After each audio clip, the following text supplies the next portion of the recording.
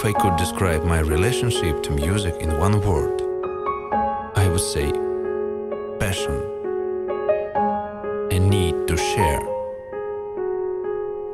a need to feel. When words aren't enough, one thing takes over music. It's not just a sound, it's a message with a passion. Help share this message. Support DJ Mag Top 100.